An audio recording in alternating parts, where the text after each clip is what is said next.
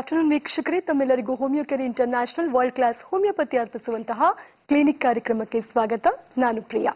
ಇವತ್ತಿನ ಕ್ಲಿನಿಕ್ ಕಾರ್ಯಕ್ರಮದಲ್ಲಿ ನಾವು ಹೆಣ್ಣು ಮಕ್ಕಳಿಗೆ ಅತಿ ಹೆಚ್ಚಾಗಿ ಕಾಡುವಂತಹ ಪಿಸಿಒಡಿ ಸಮಸ್ಯೆ ಬಗ್ಗೆ ಮಾತಾಡ್ತವೆ ನಿಮಗೆ ಈ ಸಮಸ್ಯೆ ಬಗ್ಗೆ ಯಾವ್ದಾದ್ರು ಡೌಟ್ಸ್ ಇದ್ದಲ್ಲಿ ನಮ್ಮ ಟಿವಿ ಕ್ರಾಲ್ ಆಗ್ತಿರುವಂತಹ ನಂಬರ್ಸ್ಗೆ ನೀವು ಕರೆ ಮಾಡಬಹುದು ಇನ್ನು ಪಿಸಿಒಡಿ ಬಗ್ಗೆ ಹೆಚ್ಚಿನ ಮಾಹಿತಿಯನ್ನ ನಮಗೆ ಕೊಡೋದಕ್ಕೆ ನಮ್ಮ ಜೊತೆ ಇದ್ದಾರೆ Homeocare International world class homeopathy doctor ಆಗಿರುವಂತಹ ಡಾಕ್ಟರ್ ಬಸೀದ್ ಅವರು ಬನ್ನಿ ಅವರನ್ನ ಕಾರ್ಯಕ್ರಮಕ್ಕೆ ಸ್ವಾಗತಿಸೋಣ yes doctor welcome to the show yes doctor ನಾವು ನೋಡಿದಂಗೆ ಎಲ್ಲಾ ಹೆಣ್ಮಕ್ಳಲ್ಲೂ ಕಾಡ್ತಾ ಇರುವಂತಹ ಏಕೈಕ ಸಮಸ್ಯೆ ಸಮಸ್ಯೆ ಅಂತ ಹೇಳೋದಕ್ಕೆ ಇಷ್ಟಪಡ್ತೇನೆ ಯಾಕಂತ ಹೇಳಿದ್ರೆ ಇದೇ ಮೂಲ ಆಗಿರುತ್ತೆ ಮಿಕ್ಕಿದೆಲ್ಲ ಸಮಸ್ಯೆಗಳಿಗೆ ಯಾಕಂದ್ರೆ ಮೆನ್ಸುರೇಷನ್ ಸೈಕಲ್ ಅತಿ ಮುಖ್ಯವಾಗುತ್ತೆ ಪ್ರತಿಯೊಂದು ಹೆಣ್ಣು ಮಕ್ಕಳಿಗೂ ಕೂಡ ಇದು ಸರಿ ಇರಲಿಲ್ಲ ಅಂತ ಹೇಳಿದ್ರೆ ಬೇರೆ ರೀತಿಯ ಕಾಯಿಲೆಗಳು ನಮ್ಗೆ ಅಟ್ಯಾಕ್ ಆಗಕ್ಕೆ ಶುರುವಾಗುತ್ತೆ so P C O D cycle ಪೇರು ಇದ್ರೆ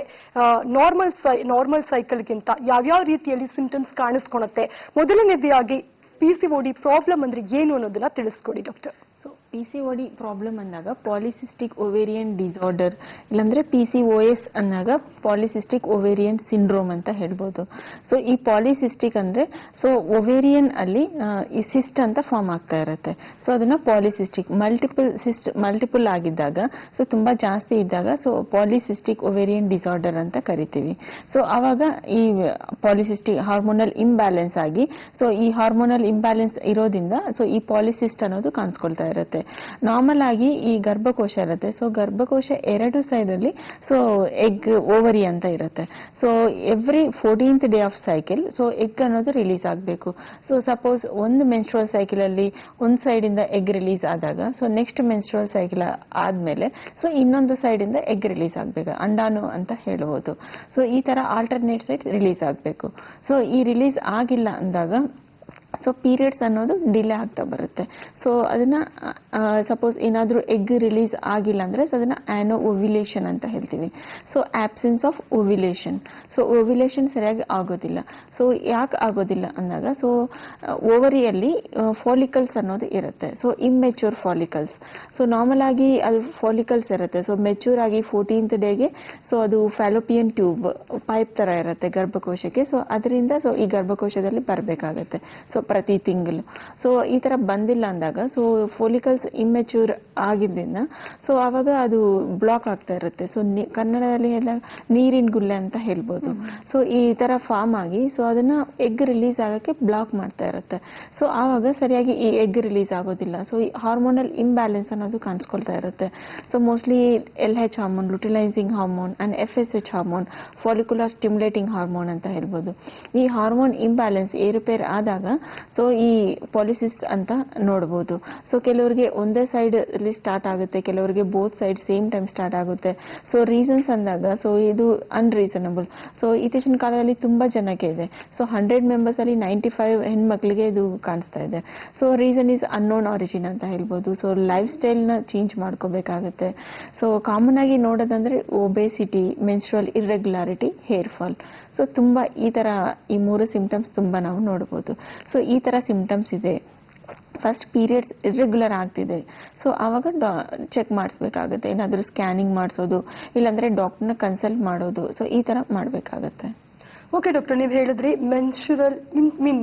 ಇರ್ರೆಗ್ಯುಲರ್ ಮೆನ್ಸುರೇಷನ್ ಆಗುತ್ತೆ ಅಂತ ಅದೊಂದು ಪ್ರಾಬ್ಲಮ್ ಆದರೆ ಇನ್ನೊಂದು ಪ್ರಾಬ್ಲಮ್ ಏನಂದ್ರೆ ಕರೆಕ್ಟ್ ಕರೆಕ್ಟ್ ಟೈಮಿಗೆ ಪೀರಿಯಡ್ಸ್ ಆಗುತ್ತೆ ಬಟ್ ಫ್ಲೋ ಕರೆಕ್ಟ್ ಆಗಿರಲ್ಲ ಅಂದ್ರೆ ವೇರಿಯೇಷನ್ಸ್ ಆಗ್ತಿರುತ್ತೆ ಯಾವ ಒಂದು ಕಾರಣಕ್ಕೋಸ್ಕರ ಫ್ಲೋನಲ್ಲಿ ವೇರಿಯೇಷನ್ಸ್ ಇರುತ್ತೆ ಅನ್ನೋದು ಸೊ ನಾರ್ಮಲ್ ಆಗಿ ಈಗ ಪಿ ಸಿ ಓಡಿ ಇದೆ ಅಂದಾಗ ಸೊ ಸ್ಟಾರ್ಟಿಂಗ್ ಸ್ಟೇಜಲ್ಲಿ ಸಪೋಸ್ ಏನಾದ್ರೂ ಮುಟ್ಟು ಸ್ಟಾರ್ಟ್ ಆಗಿದೆ ಸೊ ಒಂದು ವರ್ಷವರೆಗೂ ಸ್ವಲ್ಪ ಏರುಪೇರು ಆಗ್ತಾ ಇರುತ್ತೆ ಸೊ ಅದು ಕಾಮನ್ ನ್ಯಾಚುರಲ್ ಅಂತ ಹೇಳ್ಬೋದು ಸೊ ಒಂದು ವರ್ಷ ಆದಮೇಲೆ ಕೂಡ ಸೊ ಈ ಮುಟ್ಟಿನ ಏರುಪೇರು ಆಗ್ತಿದೆ ಸೊ ಬ್ಲೀಡಿಂಗ್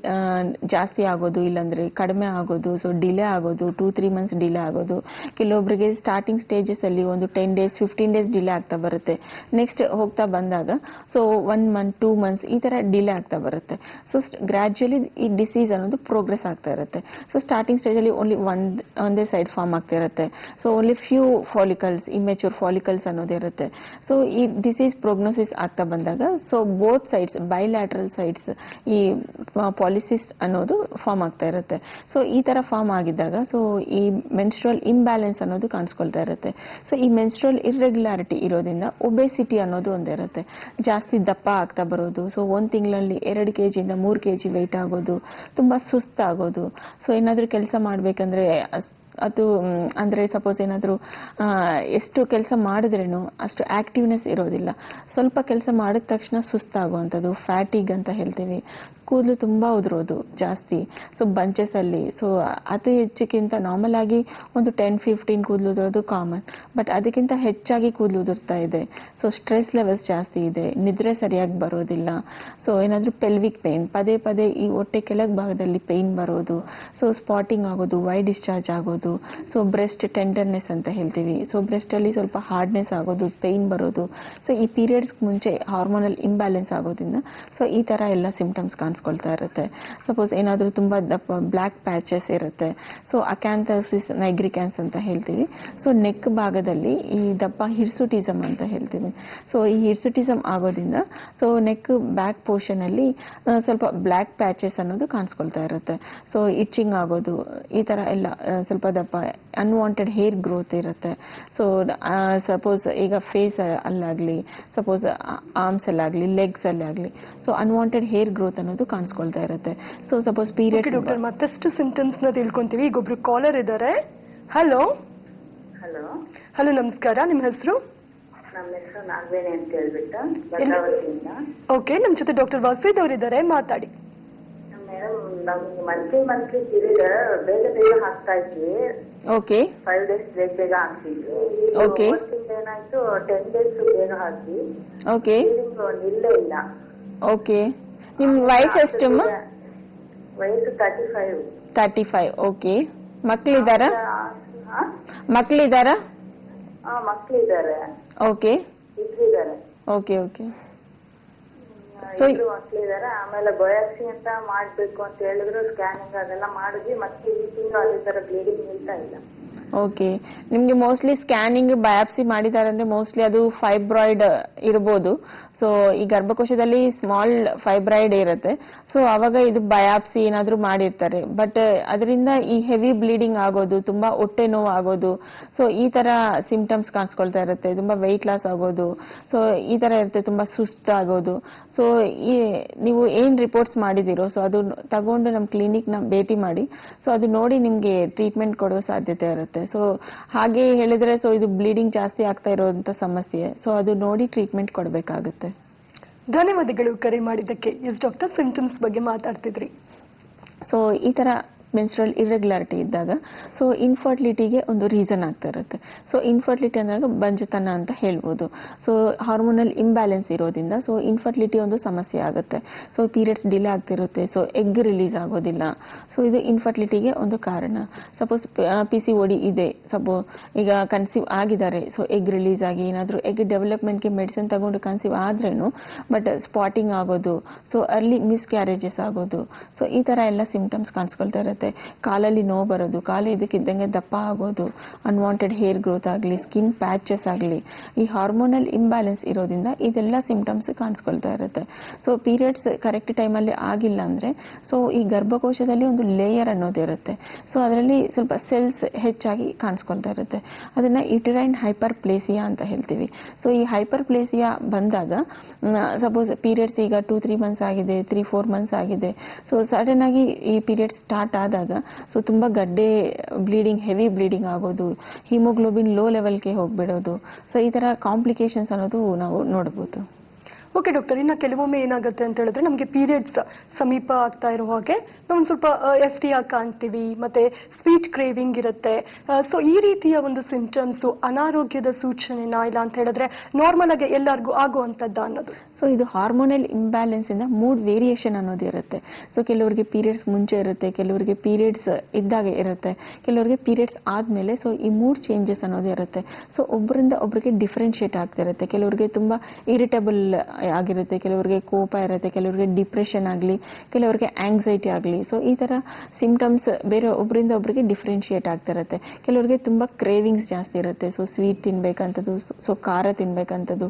ಸೊ ಈ ಥರ ಮೂಡ್ ವೇರಿಯಬಿಲಿಟಿ ಆಗ್ತಿರುತ್ತೆ ಕೆಲವರಿಗೆ ಯಾರ ಜೊತೆ ಆಗೋದು ಇಷ್ಟ ಇರಲ್ಲ ಡಿಪ್ರೆಸ್ಡಲ್ಲಿ ಇರ್ತಾರೆ ಕೆಲವರಿಗೆ ಆಂಗ್ಸೈಟಿ ಜಾಸ್ತಿ ಇರುತ್ತೆ ಸೊ ಏನಾಗುತ್ತೆ ಅನ್ನೋದು ಕೆಲವರಿಗೆ ಕೋಪ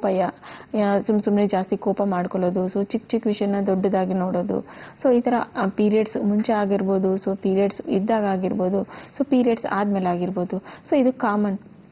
ಸಪೋಸ್ ಇದು ಎಕ್ಸ್ಟ್ರೀಮ್ಸ್ ಅಲ್ಲಿ ಹೋದಾಗ ಸೊ ಅದನ್ನು ನಾವು ಸೀರಿಯಸ್ ಆಗಿ ತಗೋಬೇಕಾಗುತ್ತೆ ಸೊ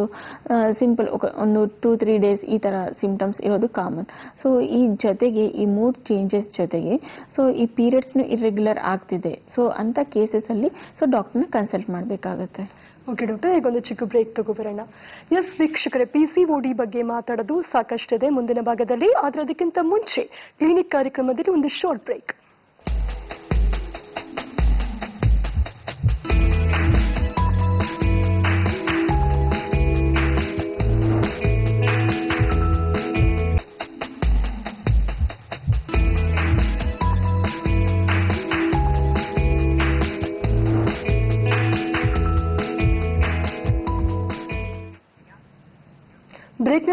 ಕ್ಲಿನಿಕ್ ಕಾರ್ಯಕ್ರಮಕ್ಕೆ ಮತ್ತೊಮ್ಮೆ ಸ್ವಾಗತ ಒಬ್ರು ಕಾಲರ್ ಇದ್ದಾರೆ ಹಲೋ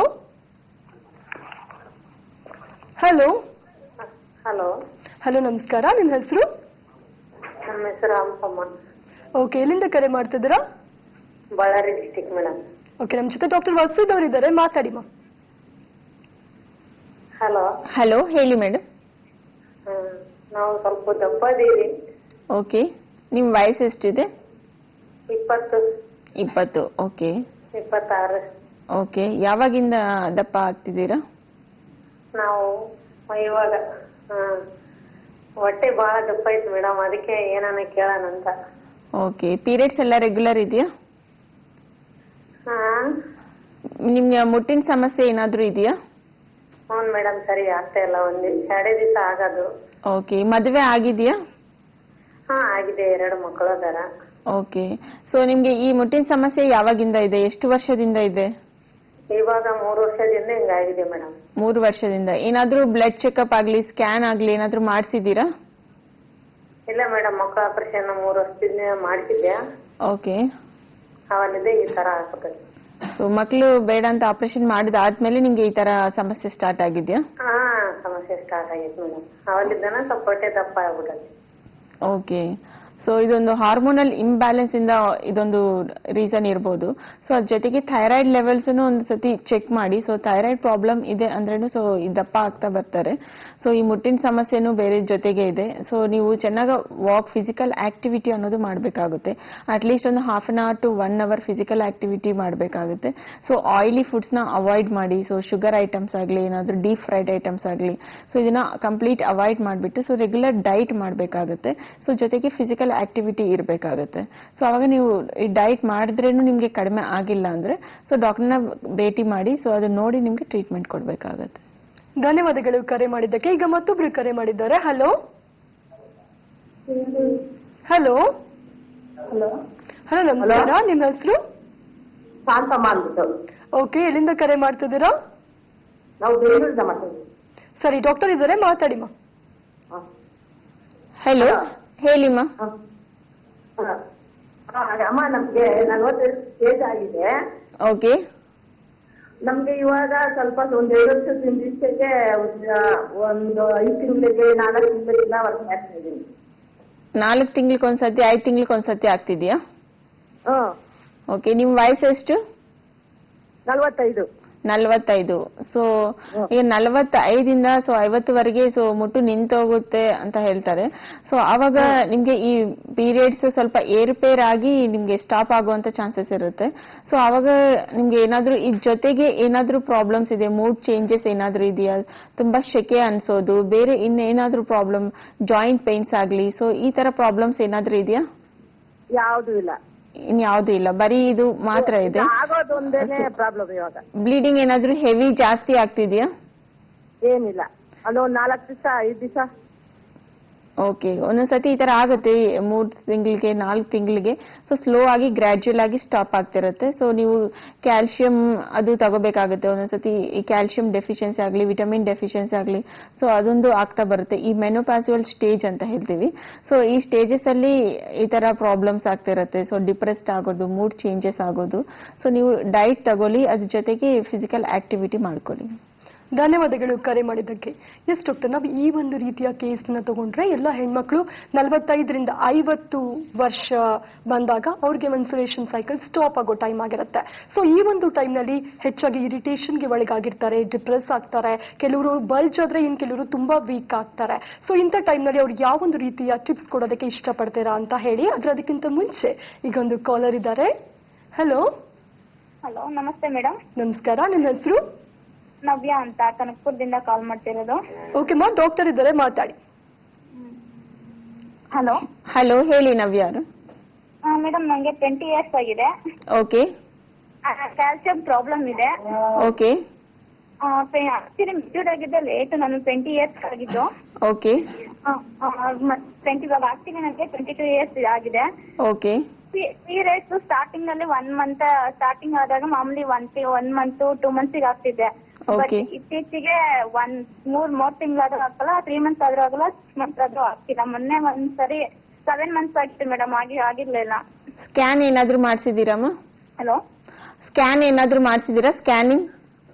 ಹಾ ಸ್ಕ್ಯಾನಿಂಗ್ ಎಲ್ಲ ಮಾಡಿದ್ದಾರೆ ಮೇಡಮ್ ಸ್ಕ್ಯಾನಿಂಗು ಮಾಡ್ಸಿದ್ವಿ ಬಟ್ ಏನು ಪ್ರಾಬ್ಲಮ್ ಇಲ್ಲ ಅಂತ ಬರ್ತಿದೆ ಸ್ಕ್ಯಾನಿಂಗ್ ಮಾಡಿದ್ರೇನು ಏನು ಪ್ರಾಬ್ಲಮ್ ಇಲ್ಲ ಅಂತ ಹೇಳಿದಾರ ಹಾ ನಾರ್ಮಲ್ ಅಂತ ಹೇಳಿದಾರೆ ಏನು ಪ್ರಾಬ್ಲಮ್ ಇಲ್ಲ ಅಂತ ಹೇಳಿದಾರೆ ಓಕೆ ನಿಮ್ಮ ಹಿಮೋಗ್ಲೋಬಿನ್ ಟೆಸ್ಟ್ ಏನಾದ್ರೂ ಮಾಡಿಸಿದ್ರಾ ರಕ್ತಾಂಶ ಎಷ್ಟಿದೆ ಅಂತ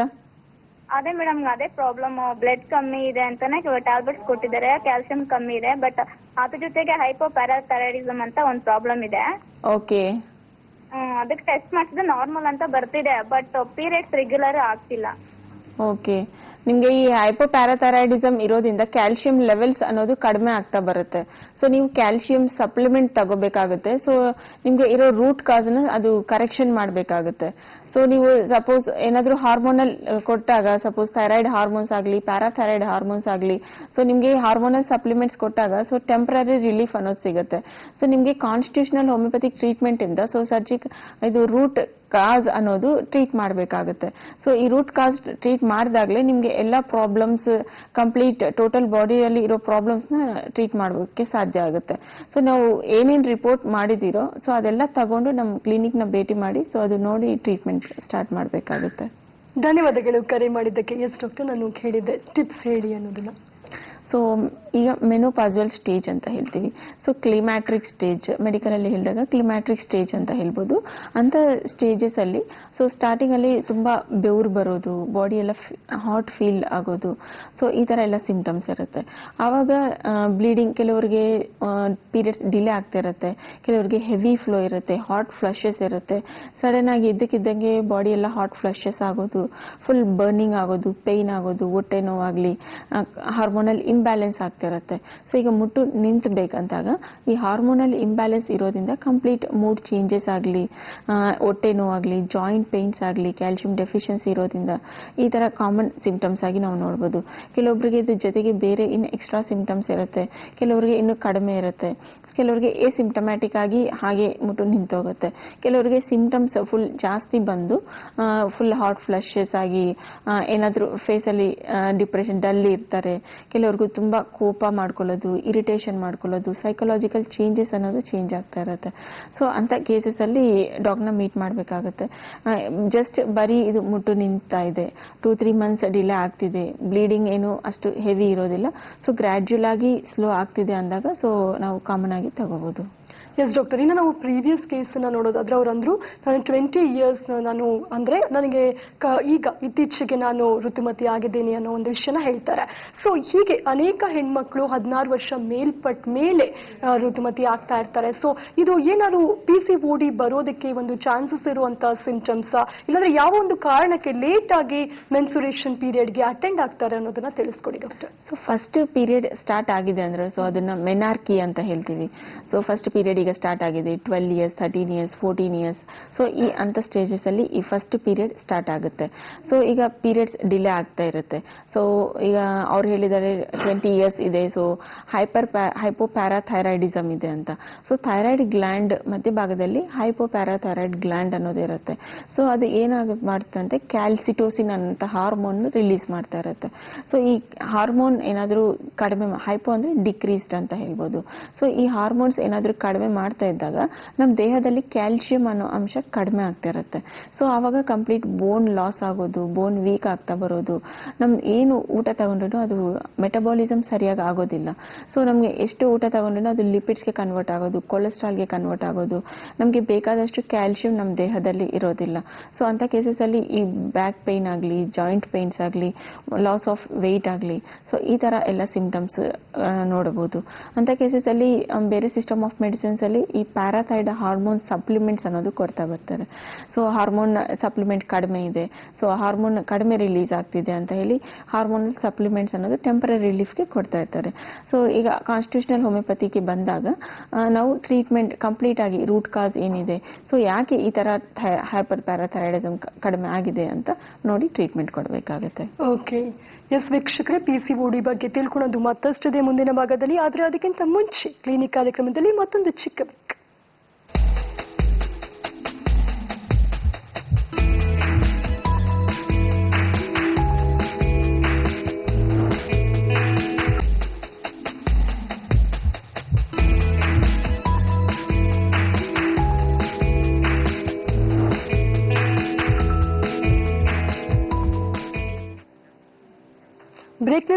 ಮತ್ತೊಮ್ಮೆ ಕ್ಲಿನಿಕ್ ಕಾರ್ಯಕ್ರಮಕ್ಕೆ ಸ್ವಾಗತ ಎಸ್ ಈಗೊಬ್ರು ಕಾಲರ್ ಇದ್ದಾರೆ ಹಲೋ ಹಲೋ ಹಲೋ ನಮಸ್ಕಾರ ನಿಮ್ಮ ಹೆಸರು ಉಷಾ ಅಂತ ಹೇಳಿ ಓಕೆ ಉಷಾ ಎಲ್ಲಿಂದ ಕರೆ ಮಾಡ್ತಿದ್ದೀರಾ ಮತ್ತೊಮ್ಮೆ ಹೇಳಿ ಮಂಡ್ಯ ಓಕೆ ಡಾಕ್ಟರ್ ಹತ್ರ ಮಾತಾಡಿ ಓಕೆ ಹೇಳಿ ಉಷಾ ಅವ್ರೆ ಹಲೋ ಹಲೋ ಹೇಳಿ ಮೇಡಮ್ ಹೇಳಿ ನನಗೆ ಫಸ್ಟ್ ಒಂದ್ಸಲ ಅಬಾಷನ್ ಆಗಿದೆ ಅದು ಪಾಪದು ಹಾರ್ಟ್ ಬೀಟ್ ಇಲ್ಲ ಅಂತ ಅನ್ಬಿಟ್ಟು ನೆಕ್ಸ್ಟ್ ಸಲ ನನ್ಗೆ ಒಂದು ಟ್ಯೂಬ್ ಎಡಗಡೆದು ಬ್ಲಾಕ್ ಅಂತ ಬಂದಿತ್ತು ಓಕೆ ಅದು ಓಪನ್ ಮಾಡ್ತಿದೀವಿ ಮೇಡಮ್ ಎಲ್ಲ ಥೈರಾಯ್ಡ್ ಎಲ್ಲ ಚೆಕ್ ಮಾಡ್ತಿದೀವಿ ಎಲ್ಲ ಏನು ನಾರ್ಮಲ್ ಅಂತಾನೆ ಬಂದಿದೆ ಹಸ್ಬೆಂಡ್ ಮಾಡ್ತಿದೀವಿ ಎಲ್ಲ ನಾರ್ಮಲ್ ಅಂತಾನೆ ಇದೆ ಬಟ್ ಏನಕ್ಕೆ ನಿಲ್ತಾ ಇಲ್ಲ ಅಂತ ಗೊತ್ತಾಗ್ತಾ ಇಲ್ಲ ಮೇಡಮ್ ಪ್ರಾಬ್ಲಮ್ ಆಗ್ತಾ ಇಲ್ಲ ಇವಾಗ ಒಂದ್ಸಲ ಏನಾಯ್ತು ಅಂತ ಅಂದ್ರೆ ಪಿರಿಯಡ್ ಡೇಟ್ ಎರಡನೇ ತರೀತಿತ್ತು ಬಟ್ ನನ್ಗೆ ಆಗೇ ಇಲ್ಲ ಅವಾಗ ಸ್ವಲ್ಪ ಒಂಥರ ಆತರ ಆಗೋ ತರ ಮೂವ್ಮೆಂಟ್ ಇತ್ತು ಒಂದ್ ಸ್ವಲ್ಪ ಒಂದ್ ಸ್ವಲ್ಪ ಬ್ಲಾಕ್ ಕಲರ್ ತರ ಹೊರಗಡೆ ಬಂತಷ್ಟೇ ಆಮೇಲೆ ಅದು ಆಗೇ ಇಲ್ಲ ಮೇಡಮ್ ಅದು ತಿಂಗಳು ಮೇಲೆ ಎಂಟು ದಿನ ಹತ್ತು ದಿನ ಆಯ್ತು ಆಮೇಲೆ ಸ್ವಲ್ಪ ಸ್ವಲ್ಪ ಒಂದೊಂದು ಡ್ರಾಪೇ ಆಗ್ತಾ ಇದೆ ಮೇಡಮ್ ಡೈಲಿ ಏನಕ್ಕೆ ಆತರ ಆಗ್ತಾ ಇದೆ ಅಂತಾನೆ ಗೊತ್ತಾಗ್ತಾ ಇಲ್ಲ ಏನಾದ್ರೂ ಸಪೋಸ್ ಸ್ಕ್ಯಾನಿಂಗ್ ಆಗ್ಲಿ ಬ್ಲಡ್ ಟೆಸ್ಟ್ ಆಗ್ಲಿ ಏನಾದ್ರು ಮಾಡ್ಸಿದೀರಾ ಇಲ್ಲ ಏನು ಸ್ಕ್ಯಾನಿಂಗು ತುಂಬಾ ಹೊಟ್ಟೆ ನೋವು ಬಂದ್ಬಿಟ್ಟಿತ್ತು ಇವಾಗ ಅದೇ ಪಿರಿಯಡ್ಸ್ ಡೇಟ್ ಇತ್ತಲ್ಲ ಅವಾಗ ಒಂದ್ ವಾರ ಅಂತ ಮಾಡಿಸ್ದೆ ಅಷ್ಟೇ ಪಿರಿಯಡ್ಸ್ ಇನ್ನೂ ಆಗಿಲ್ವಲ್ಲ ಅಂತ ಅನ್ಬಿಟ್ಟು ಮತ್ತೆ ಇವ್ರನ್ನೆಲ್ಲ ಟೆಸ್ಟ್ ಮಾಡ್ಕೊಂಡೆ ಏನು ನಿಂತಿಲ್ಲ ಅಂತ ಬಂತು ಆಮೇಲೆ ಫುಲ್ ಹೊಟ್ಟೆ ನೋವು ಬಂತು ಸ್ಕ್ಯಾನ್ ಮಾಡ್ಸಿದ್ವಿ ಏನು ಪ್ರಾಬ್ಲಮ್ ಇಲ್ಲ ಅಂತಾನೆ ಹೇಳಿದಾರೆ ಸ್ಕ್ಯಾನ್ ಅಲ್ಲಿ ಓಕೆ ಪೀರಿಯಡ್ಸ್ ಕರೆಕ್ಟ್ ಆಗಿ ಆಗ್ತಿದೆ bleeding periods correct month monthly correct ಆಗಿ ಮತ್ತೆ ಮುಂಚಿತವಾಗಿ ತ್ರೀ ಡೇಸ್ ಮುಂಚಿತವಾಗಿ ಆಗ್ತೀನಿ ಮೇಡಮ್ ಇವಾಗ ಈ ಮಂತ್ ಏನೋ ಈ ತರ ಪ್ರಾಬ್ಲಮ್ ಆಗಿದೆ ಏನು ಅಂತಂದ್ರೆ ಅದೇ ಒಂದೊಂದು ಡ್ರಾಪ್ ಆಗುತ್ತೆ ಅಷ್ಟೇ ಇವಾಗ ಎಂಟು ದಿನ ಆದ್ಮೇಲೆ ಪೀರಿಯಡ್ಸ್ ಡೇಟ್ ಇರೋದು ಎರಡನೇ ತಾರೀಕು ಹತ್ತನೇ ತಾರೀಕು ಆದ್ಮೇಲೆ ಒಂದೊಂದು ಡ್ರಾಪ್ ಡೈಲಿ ಒಂದೊಂದು ಡ್ರಾಪ್ ಆಗ್ತಾ ಇದೆ ಮೇಡಮ್ ಹೆಂಗೆ ಏನು ಅದೇ ಯೂರಿನ್ ಅಲ್ಲೂ ನಿಂತಿಲ್ಲ ಅಂತಾನೆ ಬರ್ತಾ ಇದೆ ಈ ತರ ಆಗ್ತಾ ಇದೆಯಲ್ಲ ಏನ್ ಪ್ರಾಬ್ಲಮ್ ಅಂತ ಗೊತ್ತಾಗ್ತಾ ಇಲ್ಲ ಮೇಡಮ್ ಥೈರಾಯ್ಡ್ ಲೆವೆಲ್ಸ್ ಏನಾದ್ರೂ ಚೆಕ್ ಮಾಡ್ಸಿದೀರಾ ಥೈರಾಯ್ಡ್ ಎಲ್ಲ ಆಗಿದೆ ಮೇಡಮ್ ಎಲ್ಲ ಇದೆ. ಸೊ ನಿಮ್ಗೆ ಇದು ಬ್ಲೀಡಿಂಗ್ ಸ್ಟಾಪ್ ಆದ್ಮೇಲೆ tenth day twelfth fourteen day ಈ ತರ ಇರುತ್ತಲ್ವಾ ಫಾಲಿಕ್ಯುಲರ್ ಸ್ಟಡಿ ಅನ್ನೋದು ಮಾಡಿಸಿ ಸೊ ನಿಮ್ಗೆ ಎಗ್ ರಿಲೀಸ್ ಆಗ್ತಿದ್ಯಾ ಇಲ್ವಾ ಅಂತ ನೋಡ್ಬೋದು ಸೊ ಅದು ನೋಡಿ ನಿಮ್ಗೆ ಯಾಕೆ ನಿಂತಾ ಇಲ್ಲ ಸೊ ಅದು ನೋಡಿ ಟ್ರೀಟ್ಮೆಂಟ್ ಕೊಡ್ಬೇಕಾಗುತ್ತೆ ಧನ್ಯವಾದಗಳು ಕರೆ ಮಾಡಿದ್ದಕ್ಕೆ ಎಸ್ ಡಾಕ್ಟರ್ ಇನ್ನ ಪಿ ಸಿ ಓಡಿಗೆ ಹಲವು ರೀತಿಯ ಸಿಂಪ್ಟಮ್ಸ್ ನ ಹೇಳಿದ್ರಿ ಈ ರೀತಿ ಸಿಂಪ್ಟಮ್ಸ್ ಕಾಣಿಸ್ಕೊಂಡ್ರು ಸಹ ಎಲ್ಲೋ ಒಂದ್ ಕಡೆ ನೆಗ್ಲೆಕ್ಟ್ ಮಾಡಿದ್ರೆ ಪಿ ಸಿ ಓಡಿಯಿಂದ ಯಾವೆಲ್ಲ ರೀತಿಯ ಕಾಂಪ್ಲಿಕೇಶನ್ಸ್ ತುತ್ತಾಗತ್ತೆ ಅನ್ನೋದು ಸೊ ಕಾಮನ್ ಆಗಿ ಈಗ ಪಿ ಸಿ ಓಡಿ ಸ್ಟಾರ್ಟ್ ಆಗಿದೆ ಸೊ ಪೀರಿಯಡ್ಸ್ ಇರ್ರೆಗ್ಯುಲರ್ ಆಗ್ತಿದೆ ಕೆಲವೊಂದು ಏನಂಗ ನಿಶಕ್ತಿ ಇರೋದ್ರಿಂದ ಪೀರಿಯಡ್ಸ್ ಡಿಲೇ ಆಗ್ತಿದೆ ಸೊ ಸರಿಯಾಗಿ ಬ್ಲೀಡಿಂಗ್ ಆಗ್ತಾ ಇಲ್ಲ ಸೊ ಇಂಥ ಕಲ್ಪನೆ ಇರುತ್ತೆ ಸೊ ಇದನ್ನ ಅವಾಯ್ಡ್ ಮಾಡಬೇಕಾಗುತ್ತೆ ಸೊ ಈಗ ಪೀರಿಯಡ್ಸ್ ಡಿಲೇ ಆಗ್ತಿದೆ ಸೊ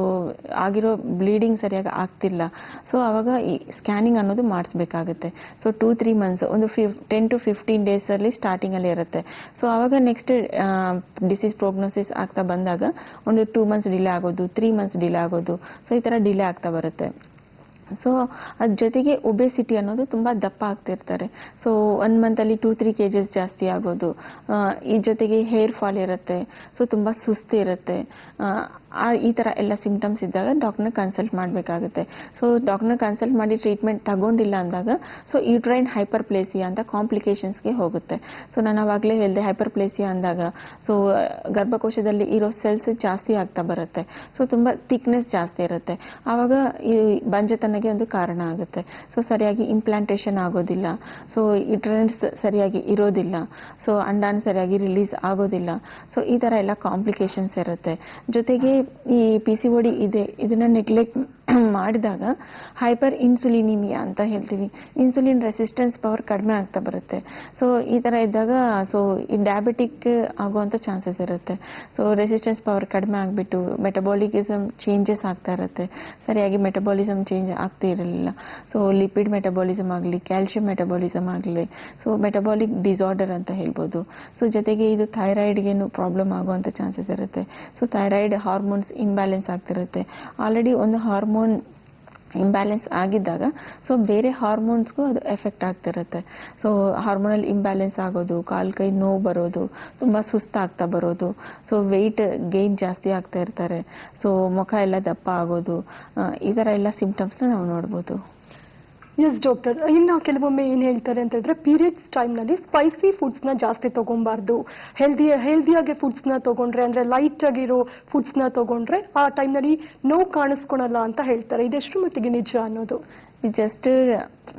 ಅಷ್ಟು ಟ್ರೂತ್ ಇಲ್ಲ ಅಂತ ಹೇಳ್ಬೋದು ಸೊ ಸ್ಪೈಸಿ ಫುಡ್ ಆಗಲಿ ಯಾವ ಫುಡ್ ಆಗಲಿ ಸೊ ಅದು ಬಾಡಿಗೆ ತಗೋಬೇಕಾಗುತ್ತೆ ಏನಾದರೂ ಹೆಲ್ತಿ ಫುಡ್ ತಗೋಬೇಕಾಗುತ್ತೆ ಸ್ಪೈಸಿ ಆಗಲಿ ಫ್ರೂಟ್ಸ್ ಆಗಲಿ ಸೊ ವೆಜಿಟೇಬಲ್ಸ್ ಆಗಲಿ ಸೊ ರಿಚ್ ಫ್ಯಾಟಿ ಫುಡ್ಸ್ನ ಅವಾಯ್ಡ್ ಮಾಡಬೇಕಾಗುತ್ತೆ ಸೊ ಈ ಪಿ ಸಿ ಒಡಿ ಡೈಟ್ ಅಂದಾಗ ಕಂಪ್ಲೀಟ್ ಫ್ಯಾಟಿ ಫುಡ್ಸ್ನ ಅವಾಯ್ಡ್ ಮಾಡಿ ರಿಚ್ ಫೈಬರ್ ಫುಡ್ನ ತಗೋಬೇಕಾಗುತ್ತೆ ಸೊ ಜೊತೆಗೆ physical activity so health healthy lifestyle maintain ಮಾಡಬೇಕಾಗುತ್ತೆ ಅಂದರೆ ಅತಿ ಹೆಚ್ಚಾಗಿ ವೆಜಿಟೇಬಲ್ಸ್ ಫ್ರೂಟ್ಸ್ ಮತ್ತು ಎಕ್ಸಸೈಸ್ನ